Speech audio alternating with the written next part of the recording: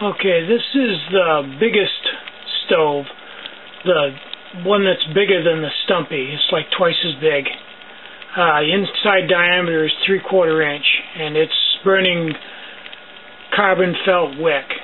I just thought I'd give you guys a look to see what it looks like when it's burning. It burns a lot bluer than the uh, fiberglass wick does. I think it has a lot less impurities in it. I don't know, maybe it's just a different animal altogether. I'm not sure, but I really like the way it burns.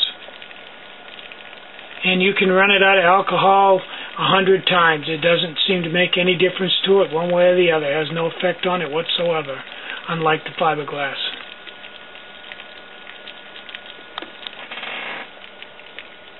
I'm, I'm very impressed with this material. And I think this pot and this stove is about as big as I'm going to go because this is about all the Foster's pot can handle.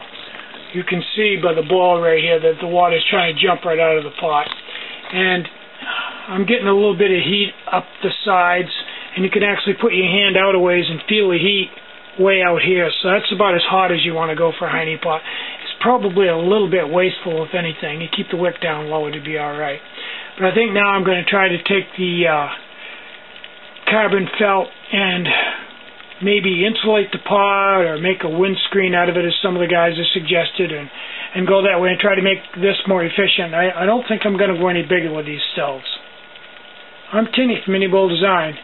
Get out and hike, and more important than anything, have a great day.